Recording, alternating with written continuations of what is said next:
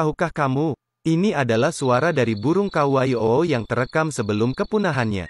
Merdu sekali bukan?